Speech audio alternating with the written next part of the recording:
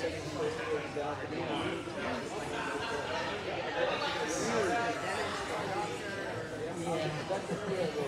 War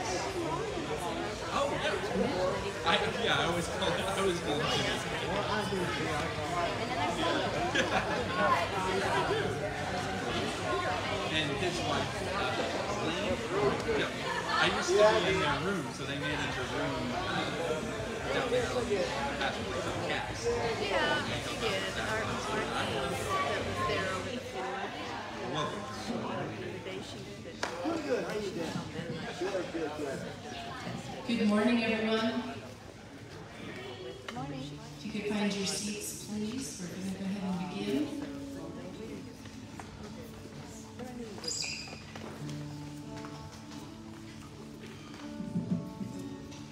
going to read Psalm 122. It's a song about Jerusalem, a psalm about Jerusalem, written by King David. I was overjoyed when they said, Let's go up to the house of the Lord.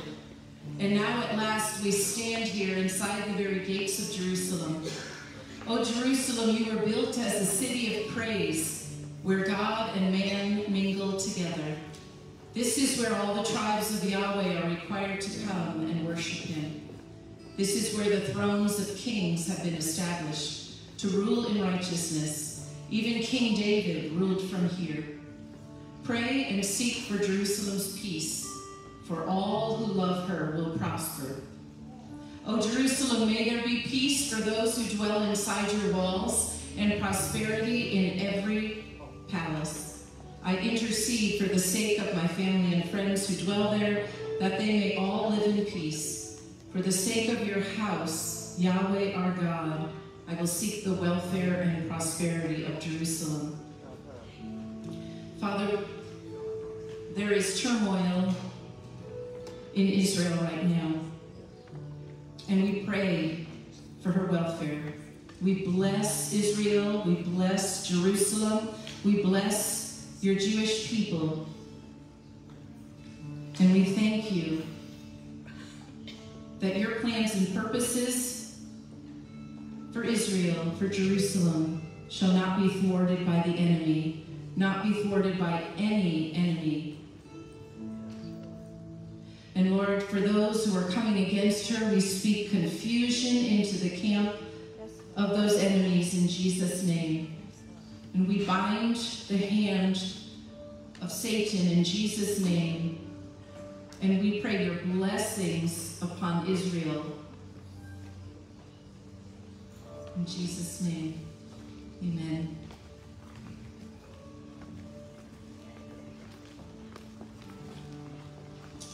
It's good to see everybody here this morning.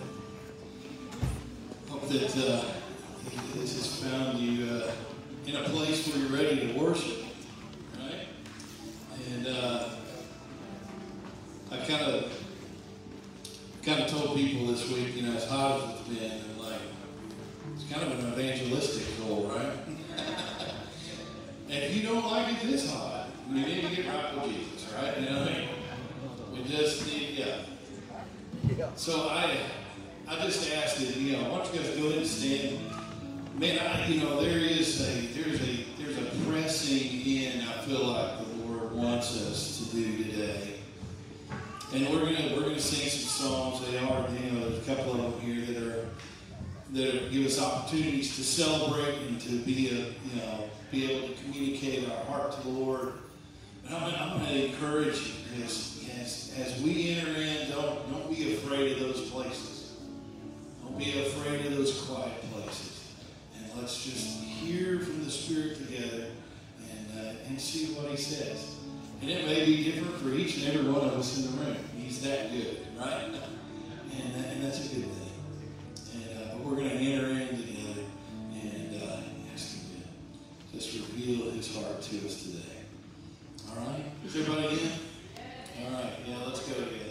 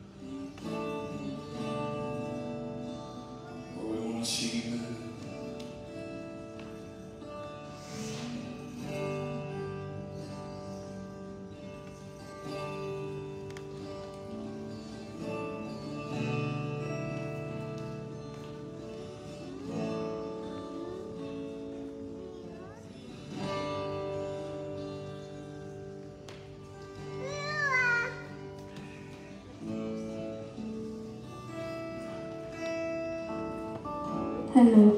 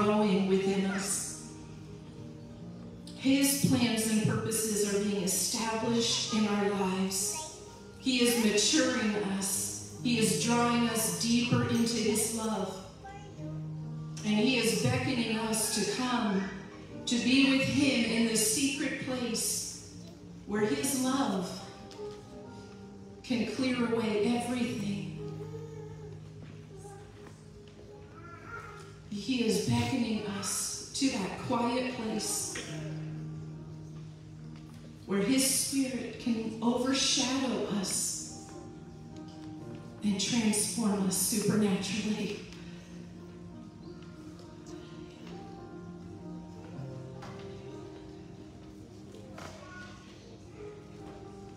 Does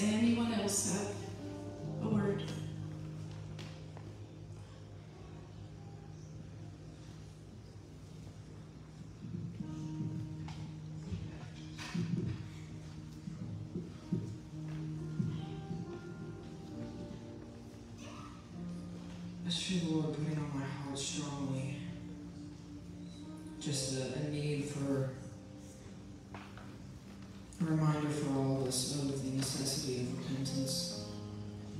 Because the Lord gives us these places, these these kind of moments of of feeling his love and feeling his joy to let us know that he's trustworthy. He's trustworthy for us to lay down those things we feel like we can't. He doesn't stand far off and then demand you to do everything. He draws as close as you allow him to.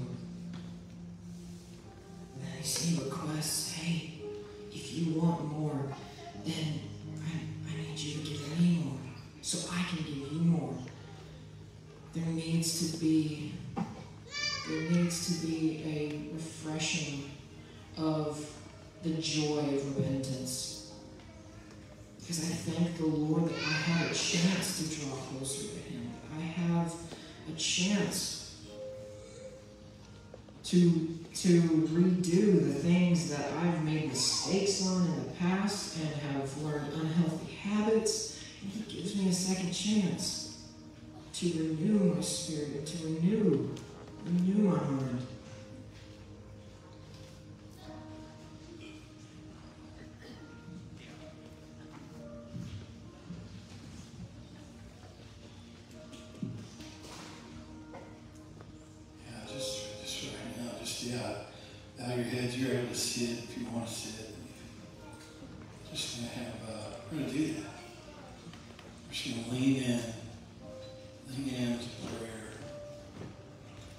Holy Spirit, we come right now. We ask that you would just reveal that thing.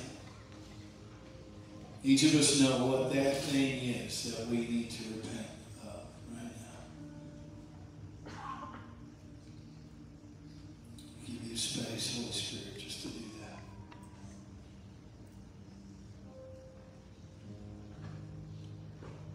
Right now, church, just where you are,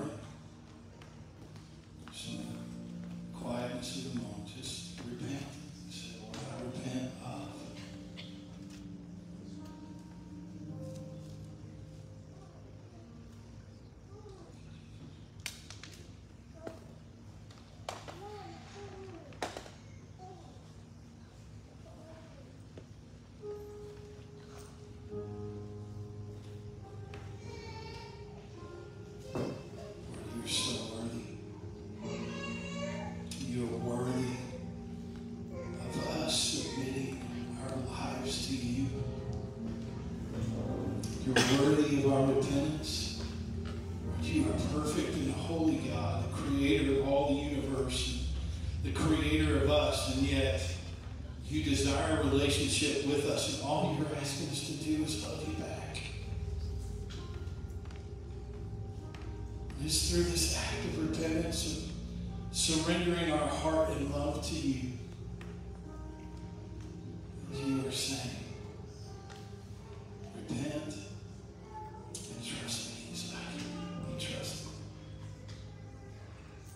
So, Lord, we repent.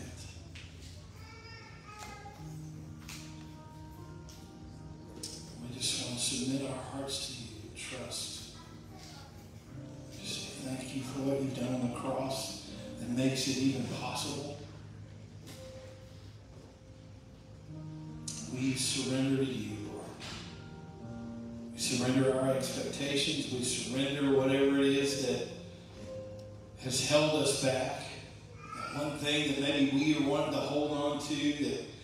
we kind of like, and, and you're telling us, no, that's got to go too. You got to release that too. Lord, we want to lay that at your feet right now. In Jesus' name,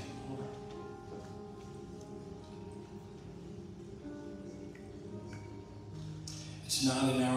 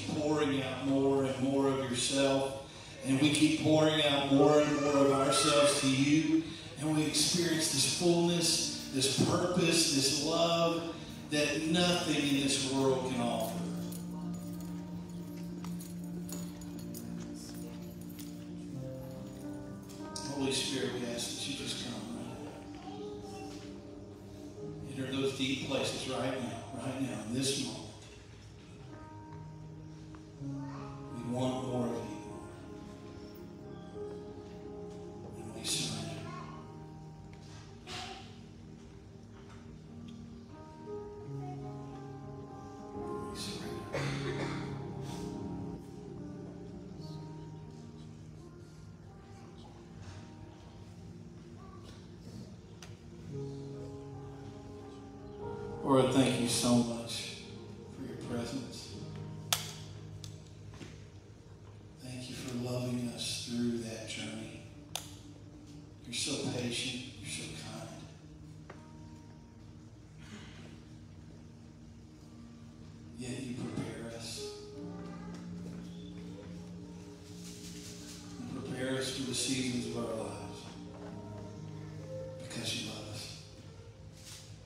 God, we ask that you would just continue speaking today. Holy Spirit, come, speak your truth today. Go to those deep places that only you can go. Help us see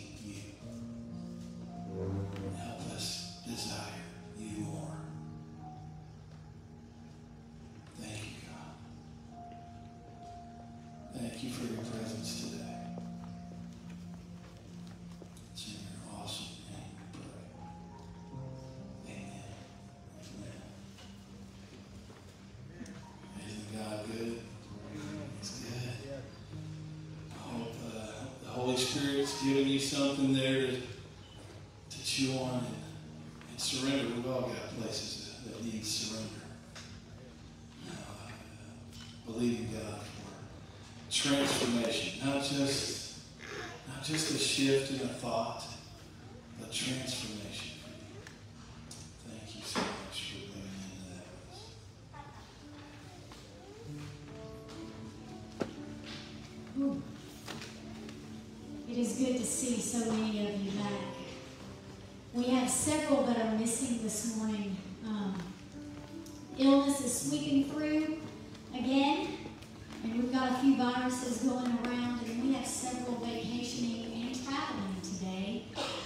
so let's keep each other in mind. If you see someone that you normally hear, make sure to reach out to them and tell them you miss them praying for healing or safe travels.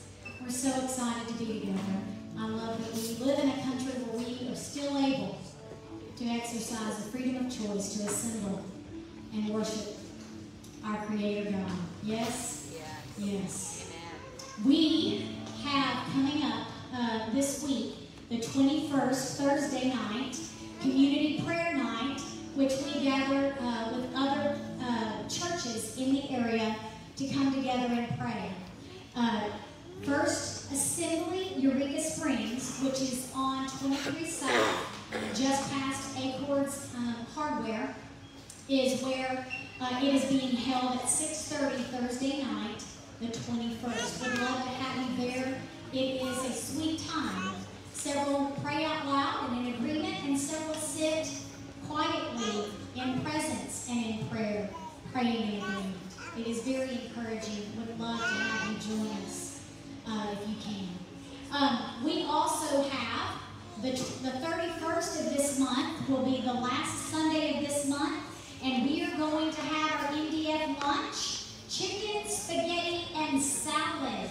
So if you have got a great chicken spaghetti recipe, which at my house is uh, wanted often, but not made enough, so that is going to be made the 31st. They'll have to wait till then this month to have chicken spaghetti. Um, would love to have you join us. Bring it. Bring a,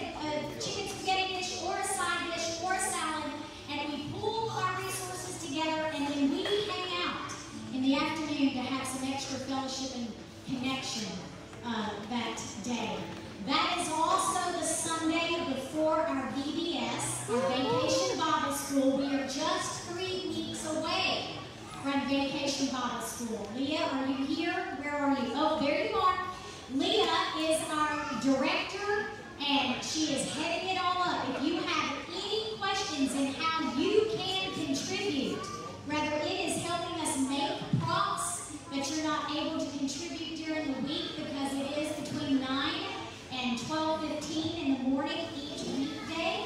Um, she needs the more hands the merrier. Miss Rhonda, raise your hand.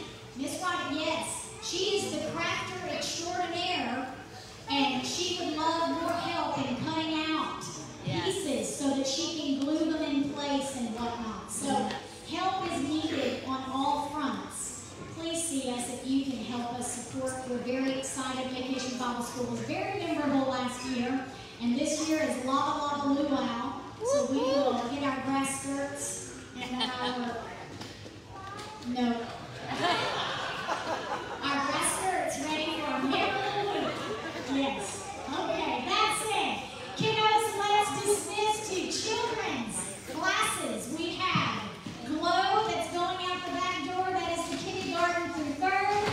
We have Life Force that is headed upstairs, fourth through sixth. And then, of course, not to say the least, it's the Happy Roomers, the pre-Kers. Let's head upstairs as well.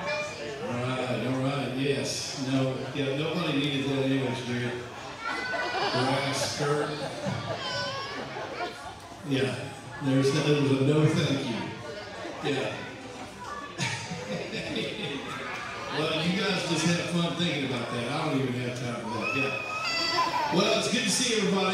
Great to with you. Thank you for, I love, I love how we're learning to linger in His presence. And, and the reason, you know, the reason that is so important is because when the Holy Spirit begins to do things that are outside of our expectation, it usually happens in the context of us kind of, it's almost like, okay, are, are you ready for me to speak now?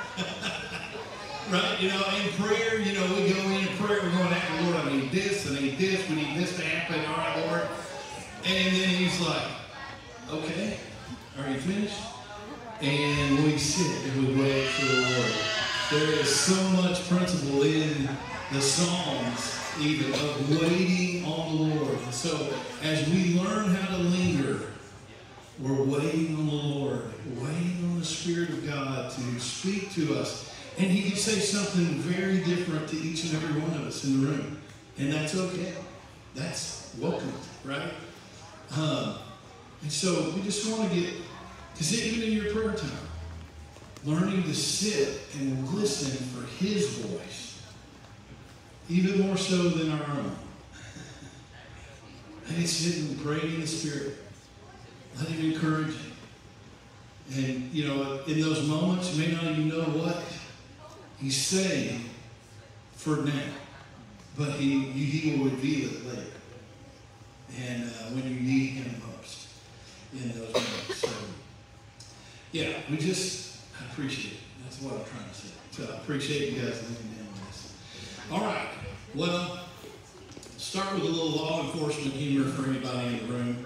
Anybody, any, any former or current law enforcement people in the room at all? Former? Yes. Yeah. Yeah. All right. All right. Yes. Very good. Yeah. Well, this you'll you'll appreciate this very much. All right. So, to test their skills, these newbies, in recognizing a suspect, the officer shows the trainees a picture uh, and then hides it. He showed it for five seconds and then hides it. He says, This is your suspect. How would you recognize him? So the first guy answers, he says, Well, that's easy. We'll catch him fast because he only has one eye. Well, the policeman says, Well, uh, that's because the picture I showed is of his side profile. All right? So slightly flustered, the officer said, you know, by the, he, he's very flustered by this ridiculous response, obviously. So he flashes the picture for five seconds at the second guy, and he says, This is your suspect. How would you recognize him? Well, the second guy smiles, flips his hair, and says, He'd be too easy to catch because he only has one ear. Now the policeman angrily responds, What's the matter with you two? Of course, there's only one eye and one ear because it's a picture of his side profile. Is that the best answer you can come up with? Well, extremely frustrated by this point, the police officer shows the picture to the third guy and in a very testy voice asks, This is your suspect. How would you recognize him? And he quickly adds, Think hard before giving me a stupid answer. All right? Third guy looks at the picture intently for a moment, says, Well, the suspect wears contact lenses. The policeman is surprised and speechless because he really doesn't know himself if the suspect wears contacts or not. Well, that's an interesting answer. Well, wait here for a few minute, minutes while I check his file, and I'll get back to you on that. Leaves the room, goes to the office, checks the suspect's file, and sure enough, he says, Wow, I can't believe it. It's true. The suspect does, in fact, wear contact lenses. Good work. How were you able to make such an astute observation? Well, the third guy said, Well, that's easy. He can't wear regular glasses because he's only got one eye and one ear. oh, my. They went to the Rosco P. Coltrane School of Officer, you Police Academy, right? Yes. All right. How many of us in the room today have ever played any organized sports? Any sport of any kind? That's a great majority in the room. All right. Now, how many of you didn't get to play but you wanted to? That's okay too. Yeah, there's a few of us. Yeah. Um, see, growing up, I loved football, baseball and basketball. And I played Little League Baseball for like six years. I played football for, I guess, about three, and basketball played a couple of years. Now, I was constantly playing one of those three sports. Even if it, it wasn't through organized rec leagues, it was just in the front yard with neighborhood friends, right? I mean, I loved playing them so much that I would even play them by myself, imagining I was the star player on the team. Anybody else in the room, right? Yes, this was me. I would act like I was Roger Staubach and Tony Dorsett for the Dallas Cowboys, right? Or, you know, Razorback players, basketball players, like Alvin Robertson, Darrell Walker, you know, those guys. Yeah, I know Mike Seals knows what I'm talking about. Now, and I would even imagine myself, now this is going to be a stretch if anybody knows these names in this room. I imagine myself as Buddy Bell, Jim Sundberg, or Larry Parrish for the Texas Rangers, all right? Did anybody even know those names at all? All right, yes, all right, yes. There's a few of us in the room. All right, so yeah, yeah, those are some old school names. I was just, yeah, uh, but I was those people, all right, when I was playing, imaginary playing in my front yard or whoever we were playing.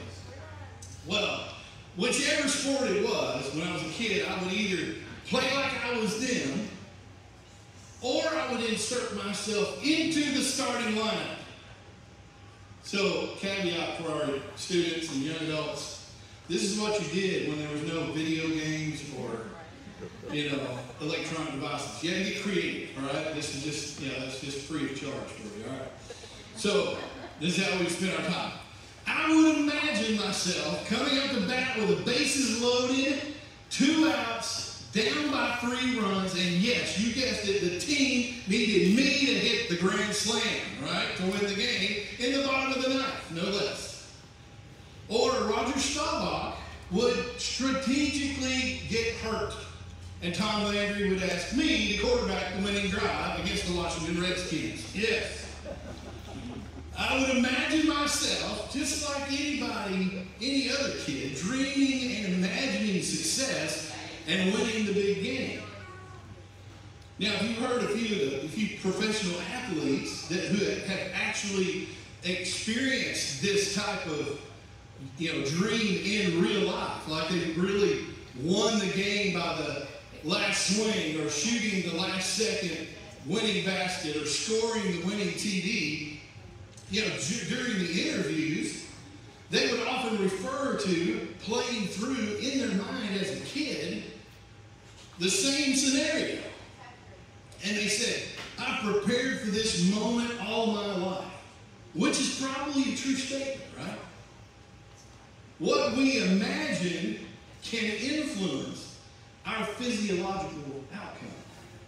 Have you ever thought about that? Imagination is a God given, God created characteristic. Now, I won't unpack all this today. And I, I, I, Quinn and I, Quinn mentioned the other day, I guess it's been a couple of weeks ago, that she had kind of thought about the imagination part. So when I started off on this, I was like, man, maybe we, I mean, this was yesterday. I was going, man, we could tag team something about imagination. It would be really, awesome.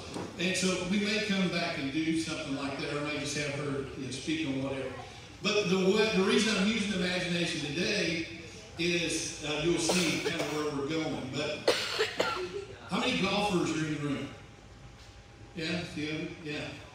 So when you're playing golf, you imagine yourself swinging the perfect swing, strikes the ball straight and long, right down the fairway.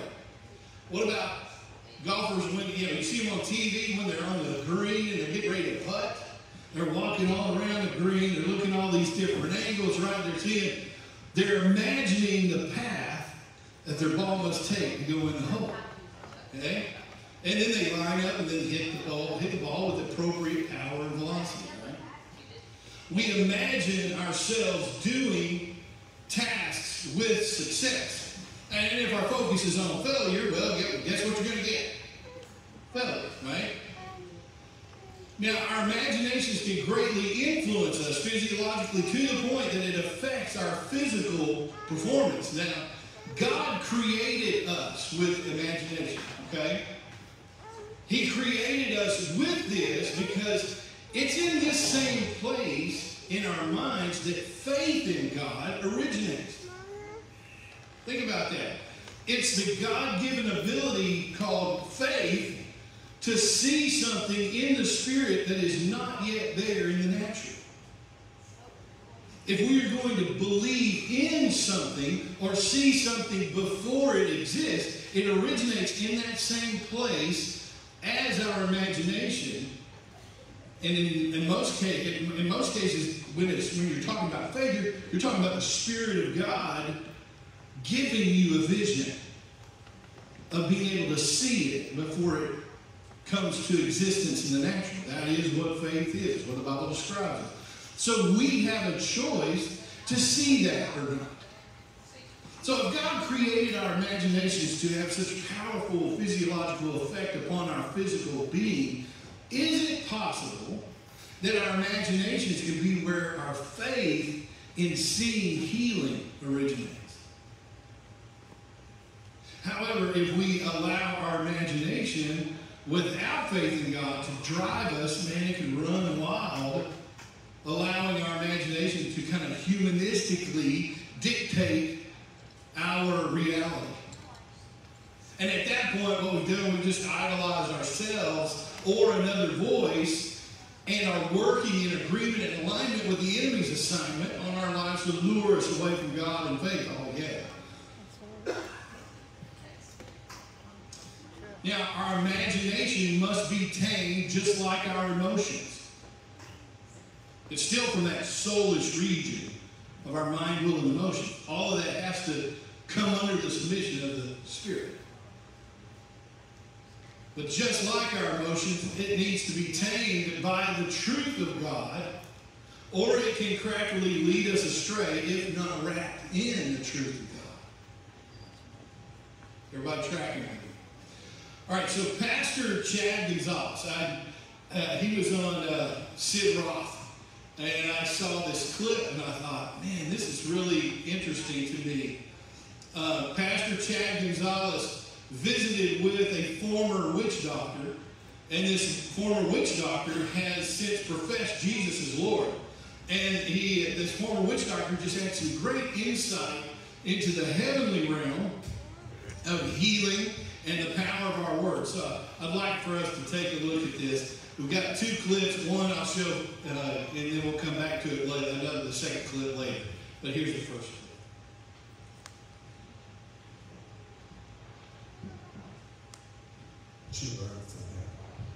Well, I wanted to, to talk to these, these different guys because it was from a standpoint I knew that, in one sense, they were having greater spiritual experiences than most Christians. Not it was demonic, but operating in a very real power. And and this was a former witch doctor, and, and so I told him, I said, talk, talk to me about like, meditation and the power of words and, and healing. And he said, well, number one, when it comes to healing, he said, you have to understand that, that all sickness and disease is of the devil. And I said, well, yeah, I understand that. It's pretty cool for a witch doctor to be saying that, a former witch doctor. Go ahead. And he said, number two, he said, uh, all disease, sickness and disease, he said it's a spiritual thing. He said, when you look at, you know, most people look at it as a physical thing. He said spiritual. He says spiritual thing. Well, most Christians still think it's a physical thing. He said it's spiritual. And he said that's why when people would come to us, he said we couldn't take away the disease. He said because Satan isn't a creator. He said we couldn't take it away, but we would manipulate it. He said we would change it like if they came to us with cancer. We would just change it to diabetes. How'd you like to go to a doctor like that? just manipulate it. And he said the third thing is, he said this. He said Satan cannot make a Christian sick unless a Christian gives him the authority that God gave them. Why would a Christian do that? Well, so no Christian would purposely say, hey, devil, make me sick. Nobody's going to do that. But what, the way Satan operates is he brings these thoughts, these ideas, and these suggestions. See, he's a deceiver. He's, he's, he's a liar. And so our, we have dominion over him. So the only way he can have authority is if we give it to him. He's been doing this since the Garden of Eden. This is what he did to Eve. This great deception. And it's been going on for all these So he only can operate as a counterfeit artist. That's it. That's it. He went to Eve. Yeah, isn't that interesting? I mean, Satan brings thoughts, ideas, and suggestions.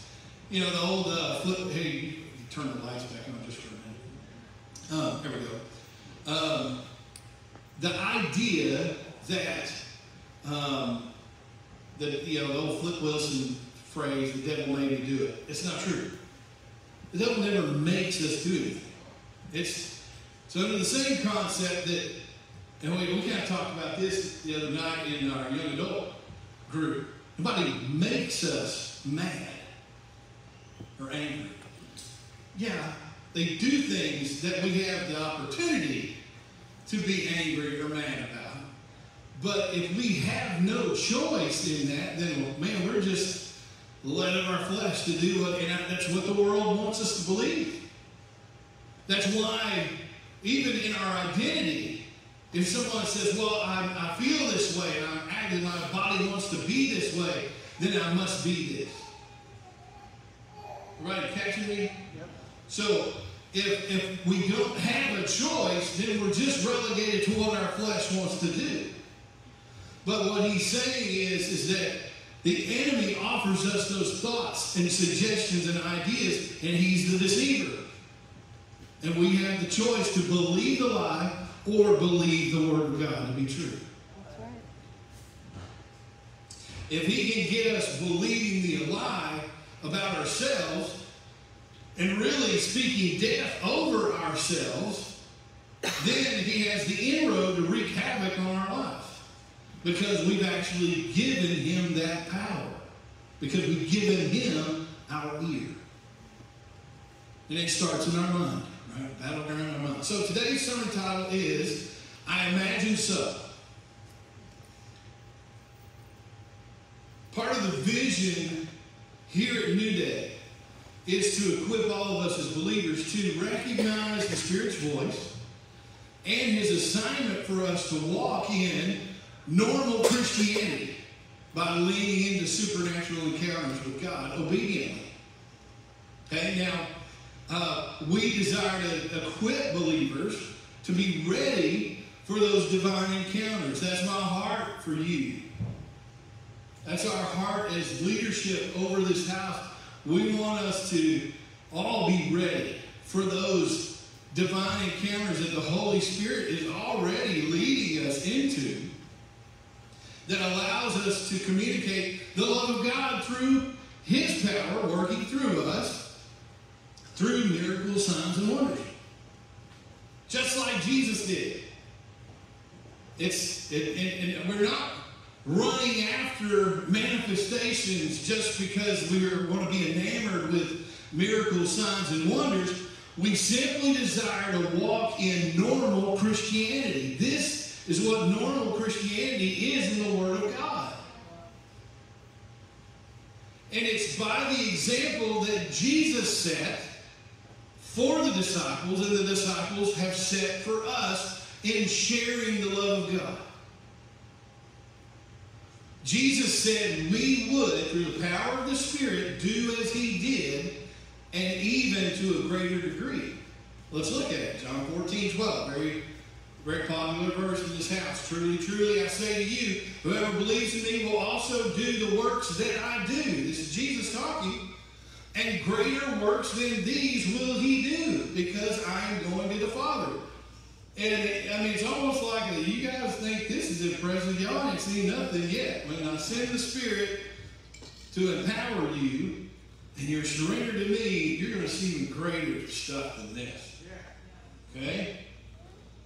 So to actually walk ready to minister in the supernatural, we first need to own in our minds that this is true. I mean, if we don't believe that it's possible or that God operates this way, then we will not see Him move this way through us. I mean, this has been the modern church for decades in many denominations. And we wonder why people are leaving the church in droves as they experience dead religion that's a lot of talk and no power. And we're transitioning in this house from all that. And I, I mean, want to see more, but not because we want to see cool stuff. Okay? We want to be able to share the love of God, the authentic Jesus, the authentic movement of the Holy Spirit. We're not trying to concoct something. That's right. We just want to see Him use us to move and be the what the church in Acts was now, in this day, because He promised it. I don't want to miss that. The Bible says the kingdom of God is within us, and that the kingdom of God is not of talk but of power. So in this house, we are believing the word to be true. And secondly, we, we then need to imagine ourselves being used of God to minister His love to people this way. If you don't really believe that walking in the supernatural power of God is true, then it's going to be pretty hard to see that fruit manifest in your life. If, if you somehow see yourself as less than and not equipped to minister God's love in this way, then you will not see this fruit in your life. We must begin to walk in this faith and that the Word of God is true. This is the kingdom of God at work in us and through us. Colossians 3 2. To set your mind on things that are above and not on things that are on the earth. Mark 11 24. Therefore, I tell you, whatever you ask in prayer, believe that you have received it and it will be yours. Romans 12 2. Do not be conformed to this world, but be transformed by the renewal of your mind. That by testing, we don't like that part usually, but by, that by testing we may discern what is the will of God and what is good and acceptable and perfect. Or another word for perfect is mature. 2 Timothy 1 7. For God has not given us a spirit of fear, but a spirit of power, love, and of sound mind. You know, we either respond to circumstances in our life out of fear or out of faith. There is a there are a few moments that both coexist. Just a few moments. We get until we really make that decision of how we're going to respond, we're met with it. Like, which one am I going to choose? Out of fear, I might choose something to hurt somebody else because they wronged me. Not because we fear being hurt. Whereas faith comes in, but what they said doesn't really make it to my ear that deep because I'm like, hey, God's already told me who I am. I don't have to get all jacked up about what they think about. Okay? Because I know who I am in Christ. So my response is not a spirit of fear, it's one of faith. If, if the spirit of fear is present, it becomes that choice that we make, then the spirit of power and of love and sound mind are not there. Because we're making decisions out of flesh and not out of faith. All right, so we're going to watch another couple of minutes of this interview with Chad Gonzalez. Um, and I want you to notice what even the witch doctor would do in, you know, sacrificing himself to put curses on other people, all right? This former witch doctor, I should say. You were telling me when that former witch doctor was a witch doctor, what he would do and the price he would pay to put his curses on people. Explain that. He said before he would put a curse on someone, he said I would get up early, early in the morning before the sun would rise. He said I had a chair I would take outside of my house, told everyone to leave me alone. He said I would go to that chair and I would sit in that chair. He said I would not leave that chair until I knew that the curse I was going to pronounce that day was going to come to pass. So he would go out there and he would meditate and use his imagination, see himself pronouncing that curse, see that curse coming to pass, whether it was on a village, you know, a town, a person, a pastor, a church. He said, I would not leave my chair until I knew it. He said, then when the sun would come up, I'd make a covenant with the sun. It was a powerful thing that he said. He said, I would look at the sun rising.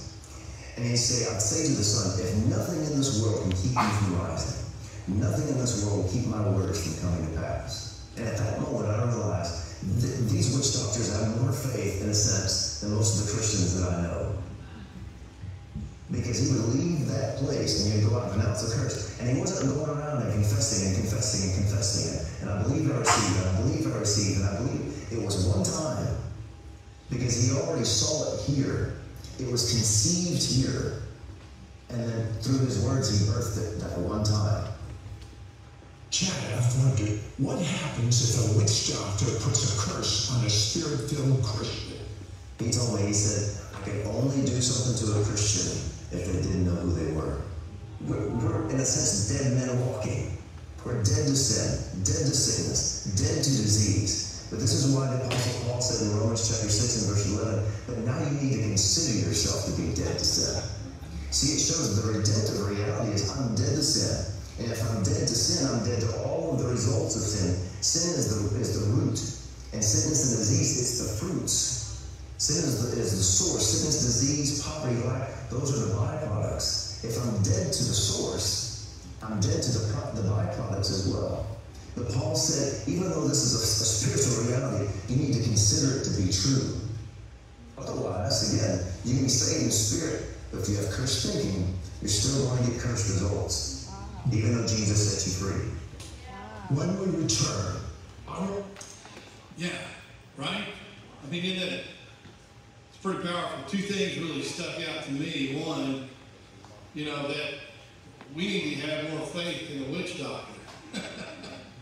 would have the other way, right? I mean, what the sacrifices that they would do in an imagination, demonic realm is, is absolutely, obviously, it's real.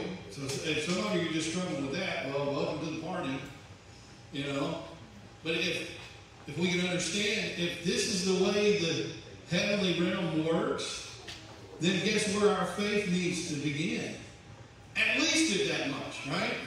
But with God, because He said, "I've crushed Satan's head," so it's it's not that we have to fear any of that. We don't have to we don't have to dwell on the fact that the demonic's got power because we've got the the powerful source. Right? He's already he's already made that dead. Okay? And another thought was, man, how hungry for God in his movement are we? I mean, to, to sit and go, I mean, we've talked about this before, to actually read the Word long enough that the Holy Spirit breaks through in what we're reading to spend time with Him long enough that the actual Spirit of God begins to penetrate not just a routine action, but a, a, a, a communing spirit where it means something.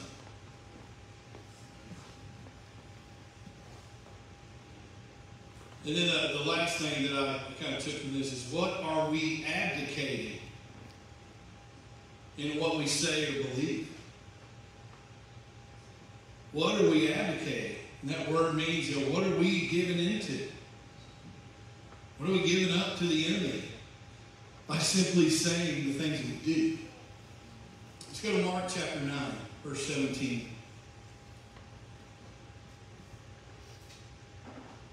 Says, Then one of the crowd answered and said, Teacher, I brought you my son who has a mute spirit. And wherever it seizes him, it throws him down. He foams at the mouth, gnashes his teeth, and becomes rigid. All right, at some point right here in the story, all of us, you know, there'd be many of us who are like, uh, peace out. Come out of this guy's foaming at the mouth, flopping on the floor. Maybe you would be uncomfortable in that situation. But this man says, So I spoke to your disciples that they should cast it out, but they could not. He answered and said, O faithless, o faithless generation, how long shall I be with you? How long shall I bear with you? Bring him to me. Then they brought him to him, and when he saw him, immediately the Spirit convulsed him. He fell on the ground, wallowed, foaming at the mouth. Verse 21. So he asked his father, How long has this been happening to him?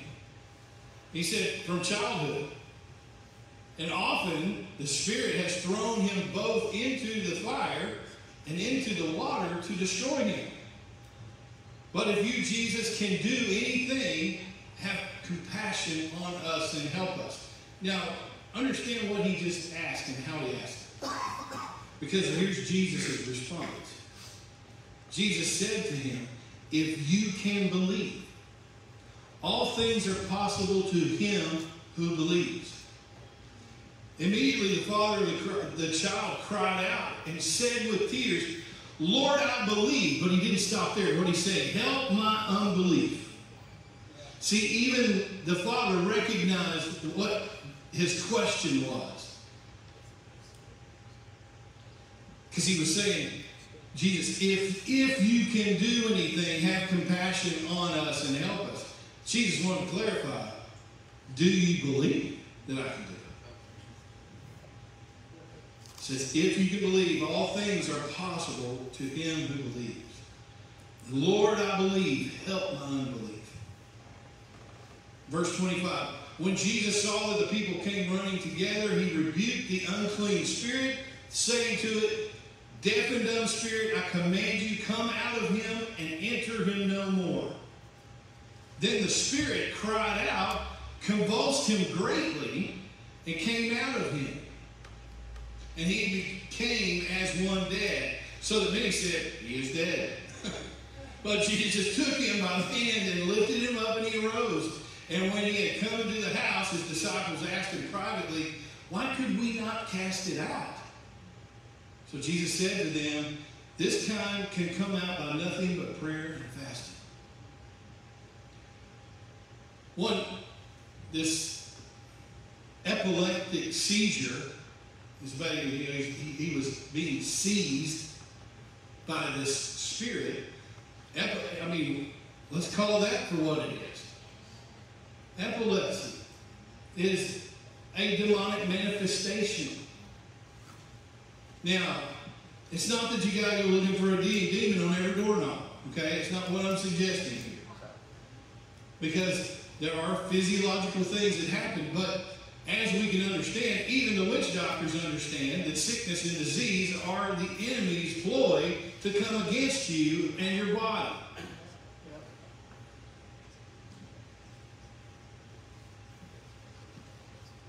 Now, he said some deliverance comes by prayer and fasting.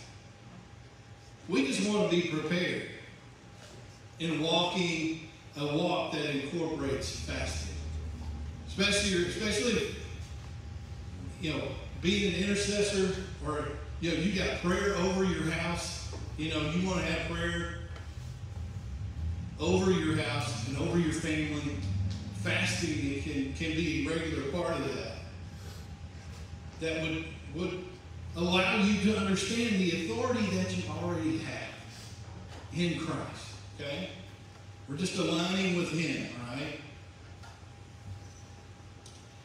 I think most of us in the room today would agree that maybe uh, the biggest couple of hindrances to just diving in wholeheartedly to the idea of praying over someone for healing is one, what if the person doesn't get healed? Right? That's the big question, right? And then two, maybe you had your own issue of not being healed, and so what do I do with that, Paul? I think there are some things we need to understand. First of all, Jesus can change our circumstances in a moment by healing a sickness or a disease in us. But what he really desires for us is to for us to experience sozo healing, is what it's called. It's, it's the complete and total transformation of us. Not just our situation, our circumstance, or a sickness, I mean, he can make our physical situation better in any moment. And because it's inconvenient at the time, we were like, God, this would be a really great time for you to change this, right? And when he does it, then we get mad or we get kind of like, uh. But then even in that, there's endurance, there's perseverance, there's travailing before the Lord.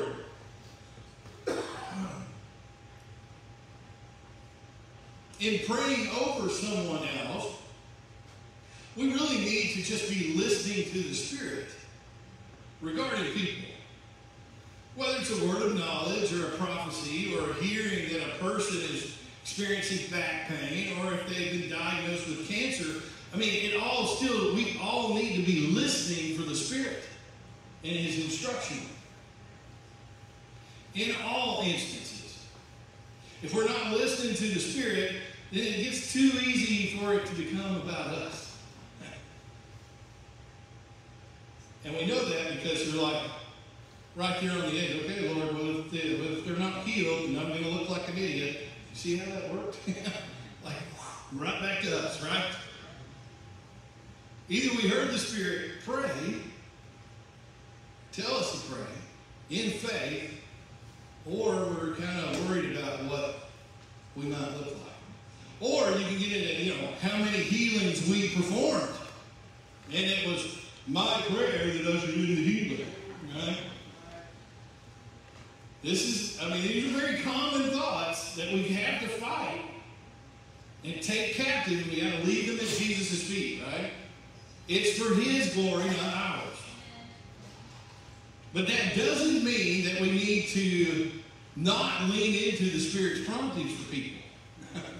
Can't just throw the baby out with the bathwater. Remember, God wants to communicate His love through us. Not just a cool supernatural moment. He wants to communicate His love through us. This is one way that He does it that really gets their spiritual attention. I mean, look how Jesus operated, right? He healed their physical ailments or spoke words of knowledge to them for them to see his supernatural work that allowed faith to rise up within them so that they could begin to lay down their lives and trust him. He still works like that today. Just because some of us don't believe that doesn't mean he's not doing it. You know, a supernatural encounter, quote unquote, can be as simple as hearing the Spirit's prompting to go pray for someone. Or as the Holy Spirit highlights them to, He wants you to tell them how much Jesus loves them. And He notices them. Yeah, you've ever done that, the looks on their faces. It's one of two ways, right? They're looking at you like, uh, you great. Uh, yeah, I know. Just chalk it up. Thank you, Lord. Right? I mean, you're just, that one was for you. sometimes those moments are for others. Sometimes they're for you. He's testing us. See, are, are you really in this for me? So we may not see what we're expecting to see, but that doesn't mean he's not working. That doesn't mean he can't do it for sure. It just means he's growing us, testing our, testing our genuineness.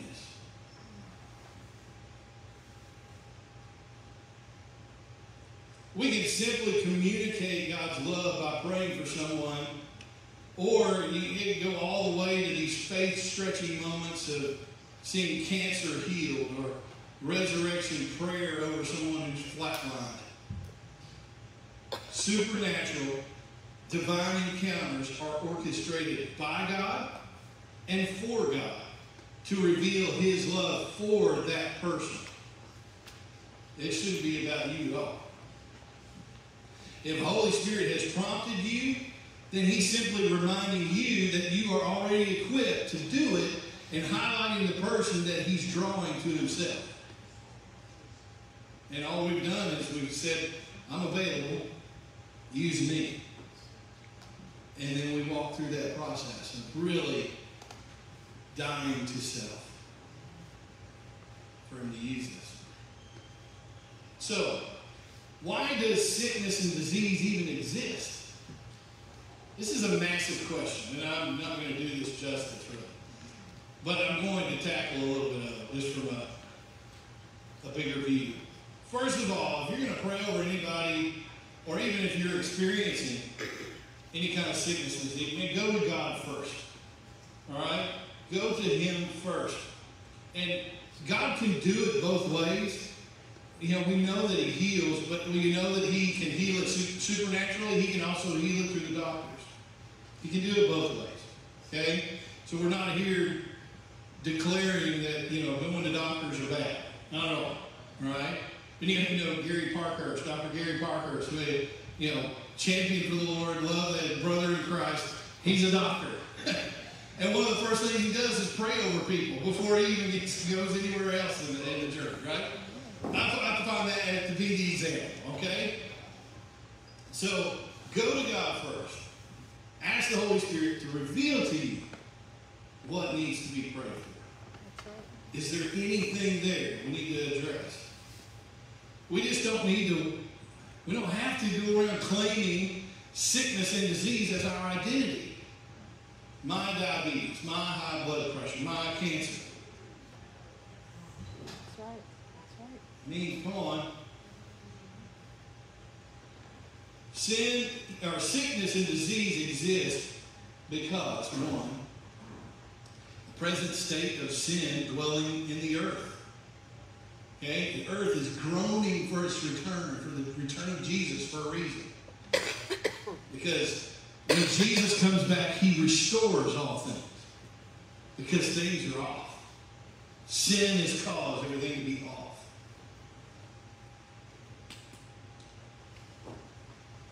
The second reason it exists is maybe it's a consequence of sin in our lives. And it can be everything from practical to there are maybe some spiritual things going on. Practical part is if, you know, we eat 12 McDonald's cheeseburgers a day for two years, you may have some health problems. And that was for me. Maybe partly confessing. I don't know. Danielle's going, no, no, don't go there. Don't go there. I mean, we there are some things that we can do in the natural that influence our health. But some of the spiritual aspects of that can be just what we were talking about earlier. Are the things that the enemy, that we are believing that are a lie about us, that we are kind of owning, that doesn't need to be there. That the enemy's got a little crack in the door to mess with us. Some things can be in the natural, but also some things can be very spiritual. But go to God first. Let the Holy Spirit reveal that to you. Okay? Or allow Him to speak through other people to help, help you see it. John chapter 5, verse 11. Excuse me. But he answered him, The man who healed me, that man said to me, Take up your bed and walk. And the Pharisees asked him, Well, who is this man who said to, to you, Take up your bed and walk? Now, the man who had been healed did not know who it was, for Jesus had withdrawn. Like, yeah, that's, that's really kind of funny. I, I'm not going to go there, but my brain is running that say. All right, as there was a crowd in the place, all right, just kind of boom, healed, out of it, right? After Jesus found him in the temple and said to him, See, you are well. Sin no more, that nothing worse may happen to you. That's curious, right? Sin can play a part. Doesn't mean it's always that. Just because we're just because we experience disease or sickness doesn't always mean that it was sin in our life. Okay? You don't hear what I'm not saying. But it can be. That's why we go to God first. Ask the Spirit's direction. Let's go to James chapter 5, 14 through 16. Is anyone among you suffering? Let him pray. Is anyone cheerful? Let him sing praise. Is anyone among you sick? Let him call for the elders of the church and let them pray over him, anointing him with oil in the name of the Lord. The prayer of faith will save the one who is sick, And the Lord will raise him up. And if he has committed sins, he will be forgiven. Therefore, confess your sins to one another and pray for one another that you may be healed.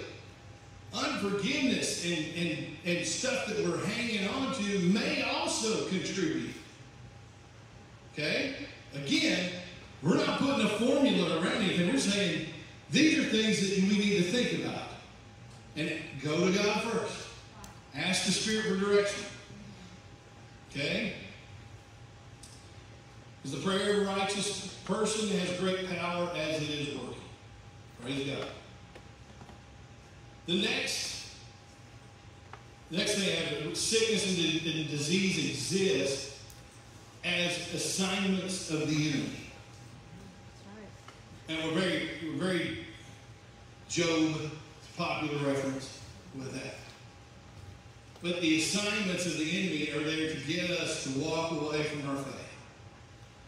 That's pretty self-explanatory. We get weary, we get tired, we want, you know, and I'm not here to tell you that we've got all the answers to why someone's not healed.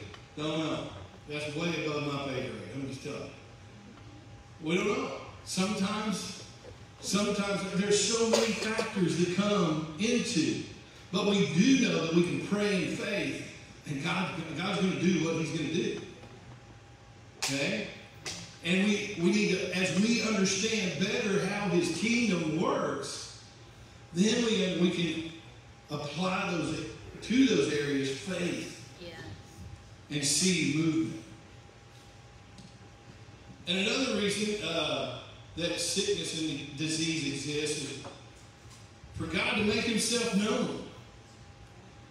Man, we most of us don't want to be in that line. You're like, Yes, Lord, I want you to be known. Okay, but uh, it's going to be through this sickness, right? Now, now some of you are like, well, God doesn't make people sick. Well, hang on, okay? Again, we know that the enemy loves to attack our bodies through sickness and disease, okay? But it doesn't mean what the enemy meant for evil that God can use for good, right? He, that, that he does that all day, every day. Okay, so it, in uh, Exodus 9, 15 through 16, I don't have these up on the I'm just kind of uh, blowing through these a little bit. It says, For this purpose I've raised you up to show you my power so that my name may be proclaimed in all the earth. It was in Exodus where they applied, I mean, the Israelites got, I mean, there was a plague. God put a you know, plague on them. Because he wanted, to, he, he wanted his name to be proclaimed in all the earth. Now, uh, John chapter 9, verses 1 through 3. And some of you were probably thinking of this passage when I was speaking a while ago about this. As he passed by, he saw a blind man from birth, and his disciples asked, Rabbi, who sinned, this man or his parents, that he was born blind? Jesus answered, It was not that this man sinned or his parents, but that the works of God might be displayed in him. Now, here's what I want to say. Most of us read that as prescriptive. What I mean by that is you apply that thought to every situation. So if we've already seen an example where sin did actually play a part in somebody's physical, you know, physical uh, sickness and disease.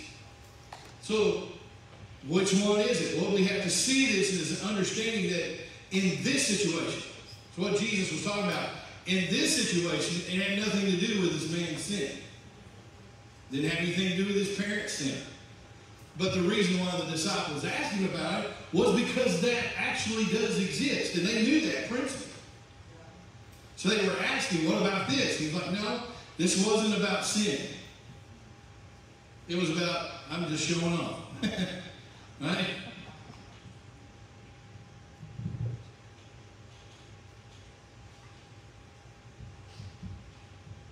But that the works of God might be displayed in him.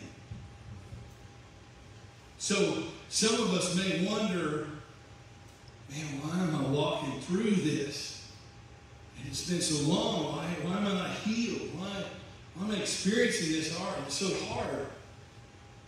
He wants us to display the mighty works of God. Our faithful walk with Him when things don't go the way we expect. Stay faithful to it. And then another, sometimes, sometimes sickness and disease exist for reasons of God's judgment. Again, this is not the blanket of how he works all the time, but sometimes, we've seen in Scripture that sometimes there are reasons of God's judgment. Exodus 15 26 says, If you give ear to my commands, I will put none of the diseases on you that I put on the Egyptians. I am your healer. So, I mean, he did this to the Egyptians. Now, obviously, were not following the Lord. And he said, hey, if you don't follow the Lord, you're going to end up like this. Revelation 2, 21 through 22, he's talking to the church at Thyatira, and he said, And I gave her time to repent of her sexual immorality, and she did not repent. Indeed, I will cast her into a sick bed, and those who commit adultery with her into great tribulation unless they repent of their deeds. That's pretty straight up.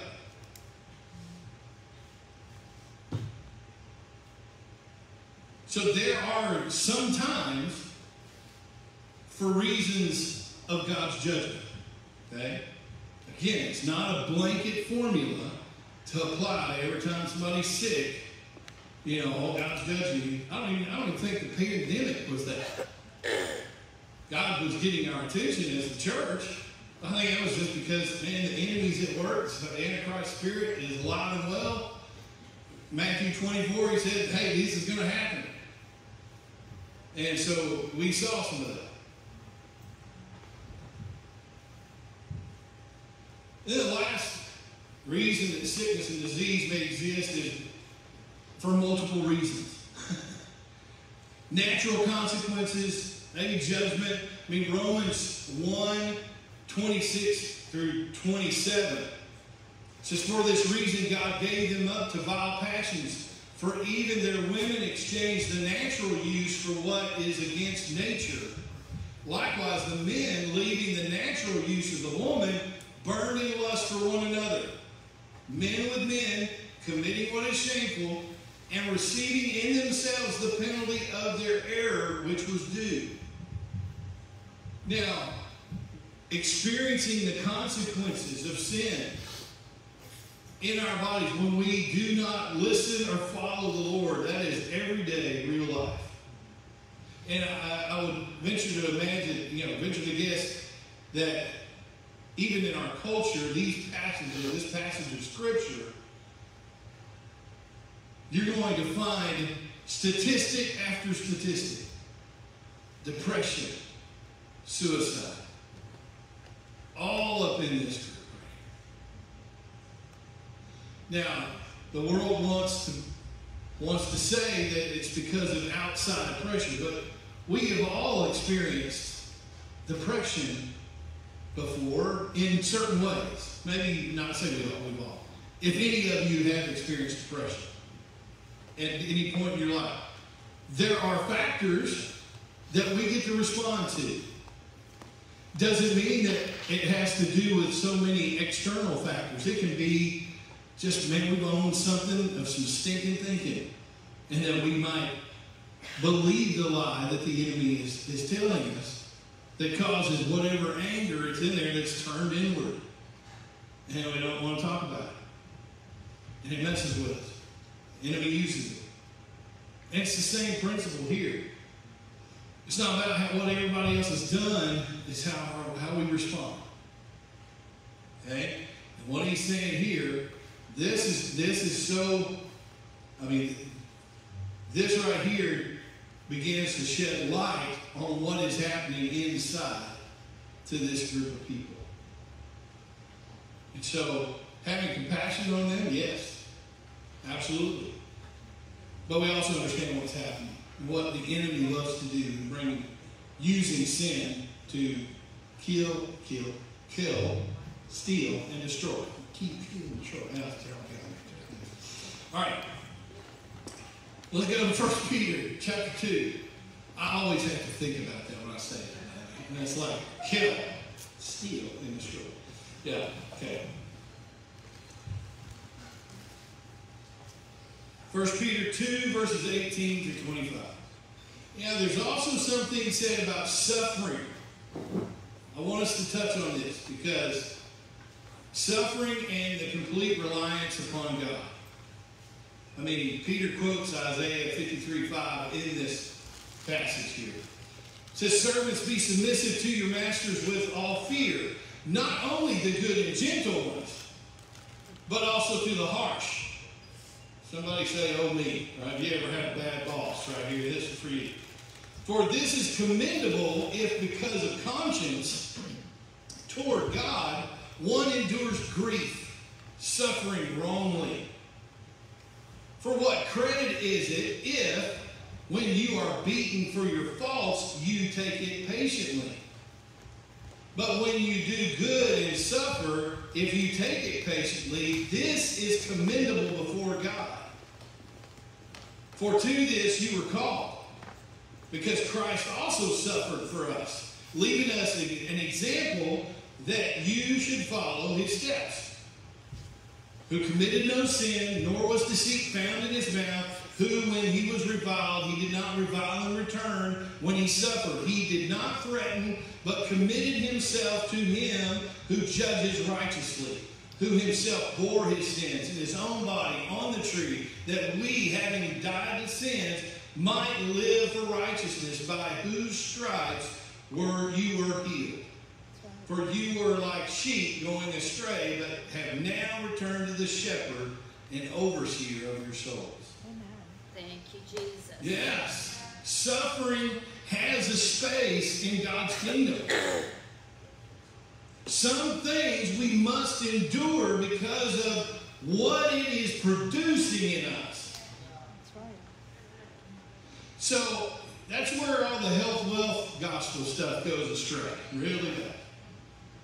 Because there is something about, I mean, even that doesn't even apply to Jesus himself, right? I mean, going down the Via Dolorosa did not seem very prosperous at the time, nor, you know, health. God wants us healthy. He created us for victory. And we operate from that place. But we're going to operate from that place while going through some stuff. I can only imagine him walking down the Via Dolorosa for the mission that was ahead of him to save the world and having to, in his humanity, he wasn't applying his godness here, by the way. That's right. With, when the cat of nine tails was striking him, when he was struggling to bring the cross up the via. He was every bit human. And he had to find it within, within himself the endurance to make it through the suffering, to persevere. Thank you, Jesus. And we need that. We need that kind of endurance in the days ahead. It's, if we, if we think that Christianity is just going to solve all of our circumstantial stuff, then we're going to walk away from our faith. Because you're going to be so disappointed. You were sold a bill of goods. Because there's a, there's, a, there's a spot, there's a space for suffering in the kingdom. Because in, within suffering, we be, if we're responding correctly, we are desperately laying ourselves down and relying upon God moment by moment. And that's where He wants us. The reality is, if we don't go through those things, it becomes way too easy to rely upon ourselves. So we daily die to our expectations. We daily die to what we really want to tell that boss or that, oh man, even, even people that have led churches in your background that burned you. You can still honor God with somebody who's not doing the right thing. to endure. Obediently endure. And then he brings to light. And then raises you up, or raises whatever situation to life. And then he gets the honor and glory. Matthew chapter 10, and we'll land here.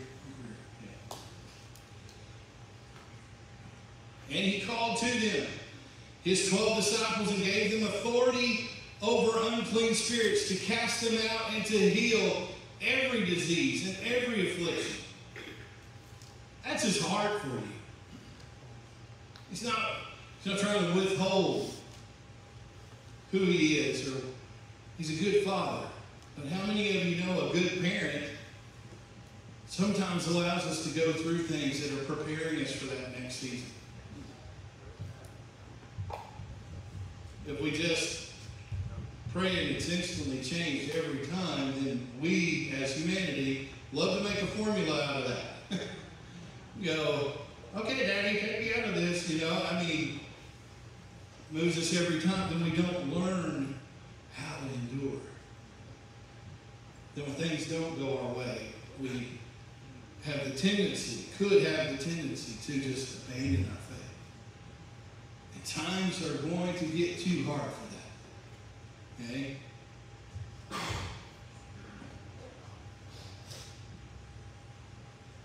Three thoughts and we'll be done. Heaven touches earth through faith in the kingdom of God operating in us and through us. Heaven touching earth. That's what all the supernatural movement. We are listening for Him and in faith allowing that connection to take place through us and in us. You don't have to. You can just die. I don't want any part of it. He gives you free will over it.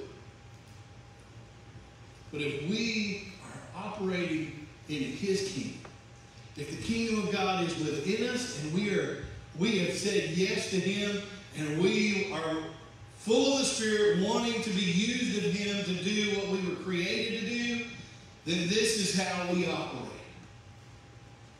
This is how the kingdom of God comes on earth before Jesus comes back to restore all things.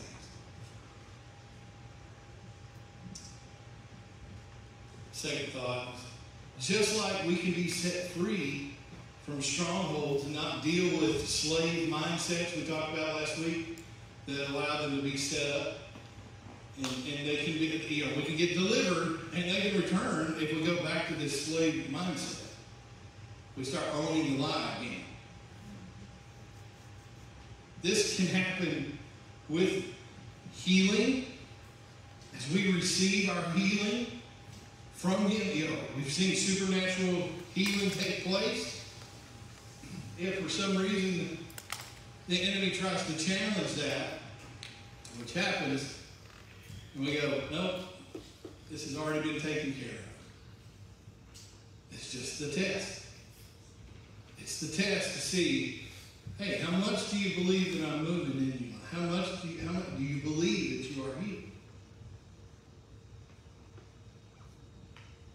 Walking in and under both God's sovereign authority and the authority of truth, which is like everyday reality, allows us to see heaven touching earth through supernatural movement.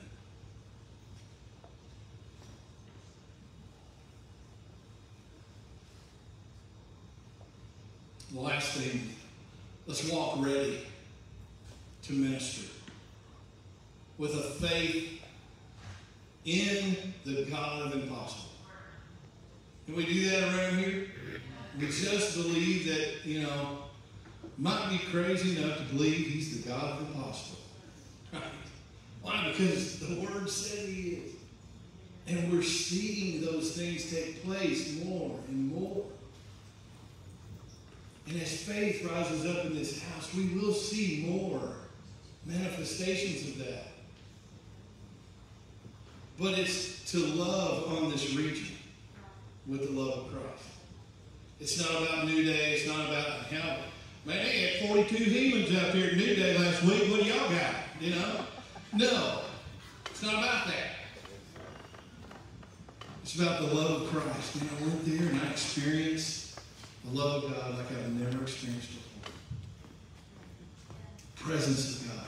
We want to be good hosts of His presence in this house. That requires faith. All right, why don't you stand with me?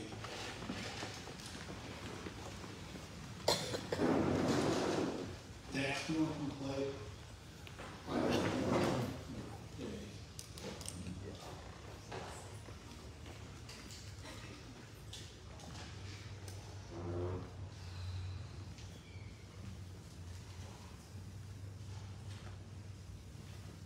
So where is your faith today? Is your thought pattern, is it an on earth as it is in heaven approach, or is it have you have you have more faith in natural things than faith in God to do than supernatural? If that's the case today, then we just need to repent. Why? Not, not because it's this harsh judgment or this, you know, oh, you have sinned. It's, yeah, we want to repent of those things that don't line up with God's truth for us. Now, anything that we are owning or that we're walking in that may not align with what the truth of God is, yeah, we just need to repent. And go, Lord, I'm sorry. I'm sorry for believing the lie of the enemy about this. You can name it whatever.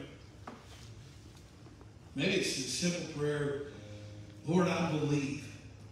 Help my unbelief. Lord, I believe. Help my unbelief.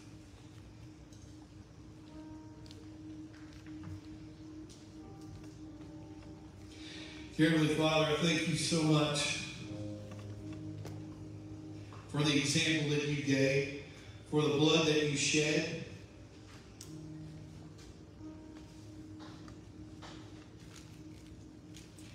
Said on the cross that it is finished. It is finished. By your stripes we are healed.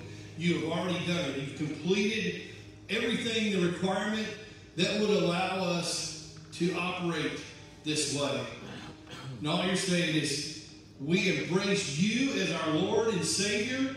You give us the resurrection power, of the Spirit of God living within us, and then we walk this journey of allowing that Spirit of God to overtake and overwhelm our soulish physical being.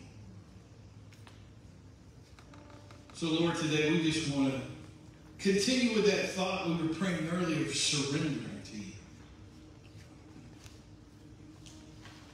It's not so much in chasing after manifestations, but you did say hunger or pursue earnestly the gifts of God, the gift, of, the spirit, the spiritual gifts of you. We do want to earnestly seek you. And in earnestly seeking you, then you empower us to do everything that you created us to do. You meet us right where we're at. Even if it's something as simple as stopping in, in the middle of the store or at the gas station just or in a restaurant just praying for someone. And then we see you move. And then out of that, our faith begins to build more.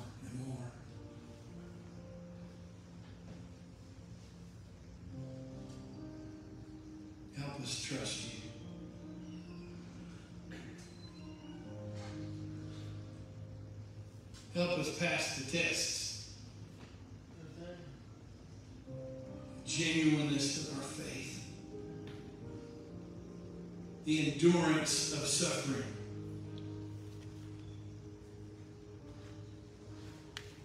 That you may be honored and glorified.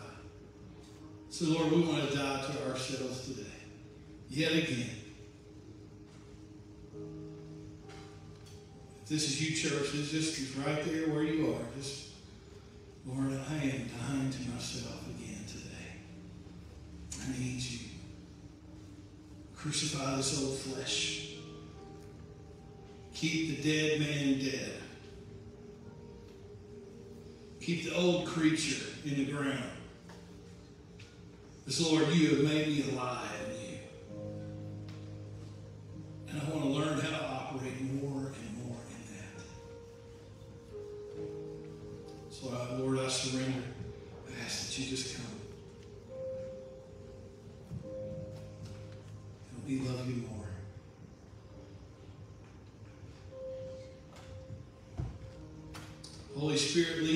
us this week.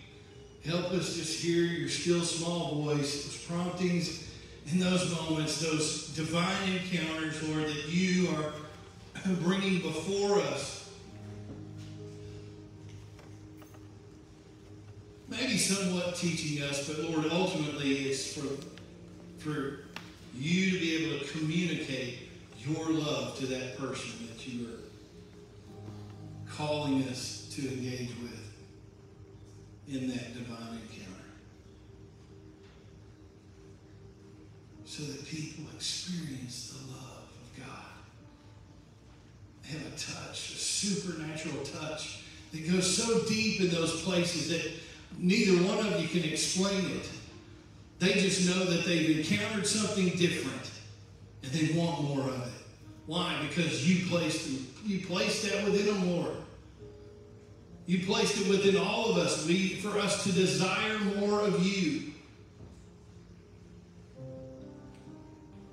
So, Lord, we just lean into that today. We thank you. We love you. We praise you. It's in your name. Amen. Well, thank you so much for being here today. And uh, I hope the Holy Spirit spoke to you today. Go and and do likewise, right? Let's go and see what the Lord can do through us through obediently walking with Him. You guys have a wonderful day. Thank you.